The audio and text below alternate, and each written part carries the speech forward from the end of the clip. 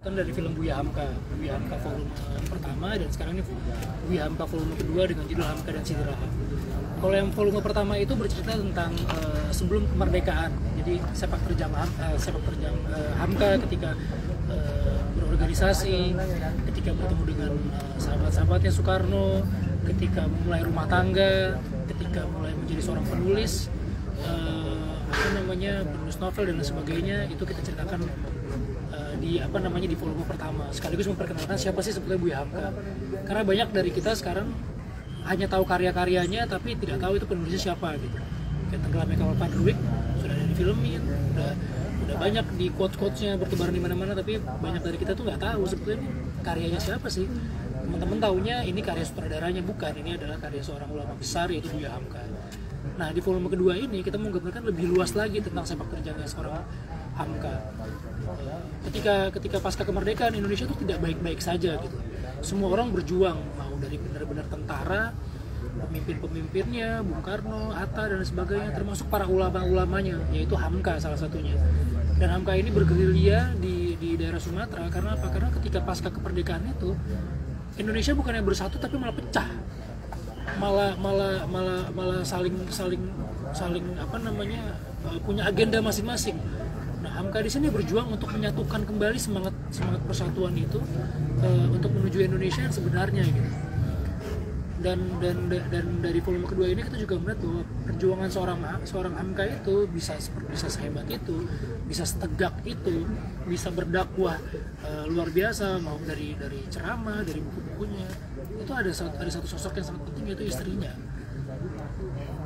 Eh, sering sekali gitu ketika seorang sebuah film biopik itu menceritakan tokoh utamanya aja. Hero nya adalah si si pahlawannya itu yaitu sosok uh, si angkanya aja. Tapi di di di trilogi ini kita mau menggambarkan bahwa seorang suami seorang seorang bapak seorang pejuang itu tidak akan bisa berdiri tegak tanpa ada support system yang bagus yaitu keluarganya terutama suami terutama istrinya Nah kita mau menceritakan menceritakan uh, part demi part uh, hubungan antara Hamka dan Siti Rahab. Termasuk ada part-part yang seperti teman-teman tanyakan tentang uh, hubungan uh, Hamka dengan Soekarno, sahabatnya, perseteruannya, uh, ada isu-isu politiknya gitu. Dan yang paling penting adalah bagaimana uh, Hamka ini bisa menularkan ahlak yang baik bukan hanya untuk uh, kita sebagai muslim gitu. Karena Hamka ini ulama yang yang yang bisa diterima ceramah-ceramahnya dakwahnya itu bukan hanya sesama muslim tapi juga juga dunia muslim tuh masih bisa gitu menerima uh, dakwah mereka. Makanya kita menggambarkan Hamka dan Rahmi ini sebuah film yang menyebarkan kedamaian alaknya alakul karimah yang baik gitu. Jadi bukan memanfaatkan apa pun apalagi situasi politik sampai saat ini. Itu berapa lama sih berapa lama sih untuk mendalami peran dan juga kesulitan ini? Ini udah uh, syutingnya udah lama sekali gitu. Siapannya kurang lebih dua dan tiga bulan karena uh, harus apa namanya harus memperdalam bahasa uh, Padang juga, ada bahasa Arab juga. Terus apa namanya uh, referensi tentang Buya Hamka itu banyak sekali tapi footage tentang Buya Hamka itu cuma ada ketika dia ceramah jadi saya saya nggak nggak tahu gitu gimana cara Hamka sehari-hari terhadap keluarga istri maupun lawan-lawan politiknya gitu. Jadi saya baca lagi buku-bukunya. Nah dari kalau di buku-bukunya terlihat tuh ketika Hamka muda tulisan-tulisannya masih sangat masih sangat apa ya tajam uh, bukan ketika udah tua nggak tajam tapi berapi-api gitu. Begitu mereka berikut Hamka sudah mulai uh, usia usia senja Hamka sudah mulai dengan dakwah dakwah dakwah yang sejuk. Nah, saya saya menarik kesimpulan bahwa Hamka muda itu sangat berapi-api. Apalagi ketika dia bergerilya nanti kita lihat di, di apa namanya di volume kedua ini.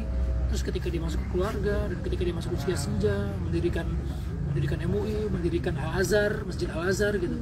Terlihat sekali bahwa bahwa uh, seperti ilmu padi gitu bahwa semakin semakin berilmu semakin merundung dan semakin menentukan mas secara kan udah lama mas. Uh, masih ingat gak sih kalau untuk yang volume 2 ini uh, adegan yang mungkin paling menguras emosi mas masih masih.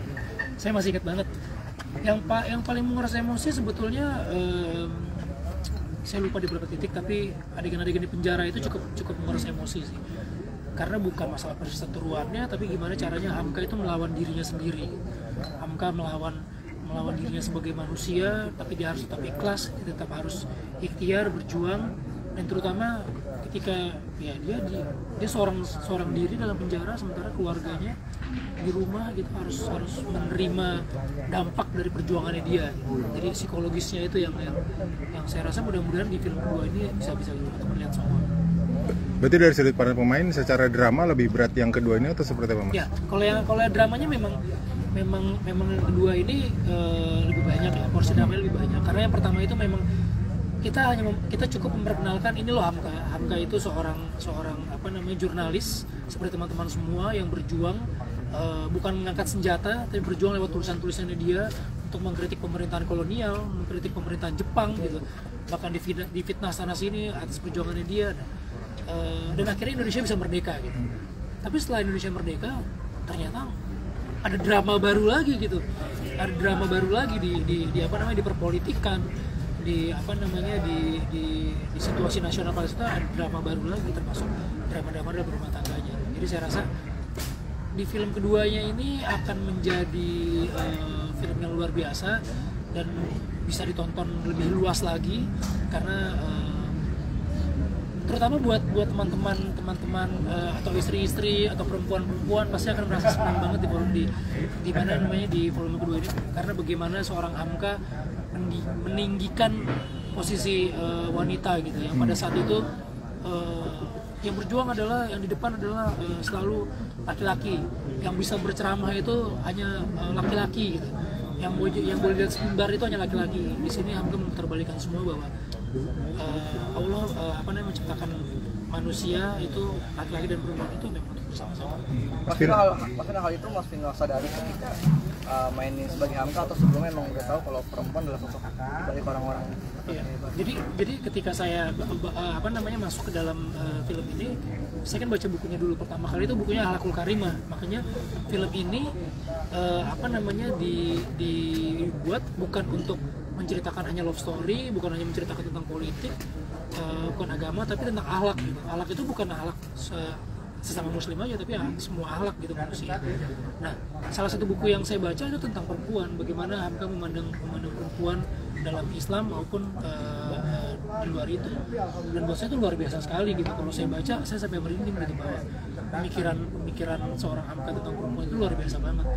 Kita keluarkan cuplikan-cuplikan film Hamka di volume 1 pun sudah mulai kelihatan gitu ketika Hamka eh, apa namanya berbicara tentang poligami, tentang keadilan dalam rumah tangga, tentang bagaimana eh, membangun sebuah rumah tangga. Gitu.